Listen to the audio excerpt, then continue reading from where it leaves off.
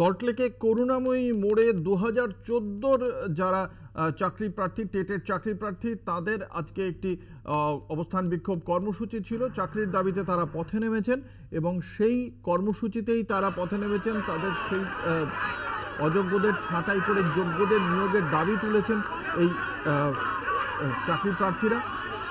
কি তাদের দাবি রয়েছে বিশদে জানব। আমাদের সঙ্গে রয়েছেন আমাদের প্রতিনিধি দেবপম সরকার। দেবপম কি বলছেন চাকরি প্রার্থীরা? যে গৌর কাপড় সরকারের সম্পূর্ণ অবলুপ্ত হয়ে গেছে কারণ দু হাজার চোদ্দ সালে যারা ভোট প্রার্থী যারা নতুন করে যে লিস্ট করেছে সেটাকে নন ইনক্লুডেড তারা দু হাজার চোদ্দ সালে তাদের যে লিস্ট নন ইনক্লুডেড ক্যান্ডিডেট তাদের নিয়োগ অবিলম্বে করতে হবে এবং নতুন একটি ফ্রেড তালিকা তৈরি করতে হবে যেখানে দু হাজার চোদ্দ যারা পাস করেছিলেন তাদের নাম ইনক্লুড করতে হবে।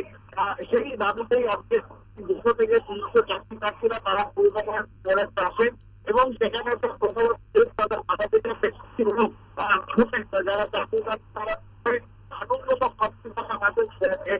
ভবন, একটি ভবনের সামনে চলে যান এবং পাখিতে রাখতে যারা করোনাময় করে এবং করোনাময় করে এই মুহূর্তে তারা অবস্থান ইতিমধ্যে শরীর হয়েছে, তাদেরকে বেরোতাম হাসপাতালে নিয়ে গেছে। এক পর্যন্ত তারা যতক্ষণ তার নতুন কোনো প্রতিশ্রুতি পাচ্ছে, ততক্ষণ তারা আন্দোলন চালিয়ে যাবে এমনটাই হুঁশিয়ারি দিয়েছে। এই দু হাজার চোদ্দ পরীক্ষার্থী যারা আছে, তারা ইতিমধ্যেই তোমার কয়েক মাস আগেই বিকাশ ভবনের দুর্গবার শাসক রাষ্ট্রপতির সাথে দেখা করেছিলেন। সেখানে তাদের যে তালিকা, সেই তালিকা তারা পেয়েছিলেন। এবং দেখা গেল যে নতুন যে নির্দেশিকা বেরিয়েছে, সেখানে তাদের নাম ইনপুট করা নেই।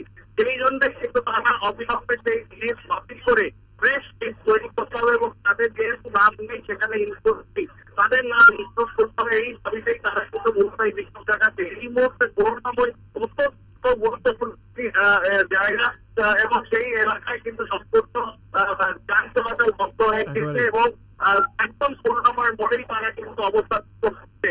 ইতিমধ্যে সপ্তাহে একটা শীর্ষ আধিকারিকরা তারা সেখানে মোতায়েন আছে এবং যে কোনো মুহূর্তে কিন্তু খারাপ পরিস্থিতি হতে পারে এমনটাই আশঙ্কা যথেষ্ট তারা অপেক্ষা করছে এবং তারা যারা যাতে আলোচনার মাধ্যমে এই সমস্যা সমাধান করে কিন্তু এখনও পর্যন্ত একেবারে তুমি পরিস্থিতির ওপর নজর রাখো দেবপম আমাদের সঙ্গে ছিলেন আমাদের প্রতিনিধি দেবপম সরকার।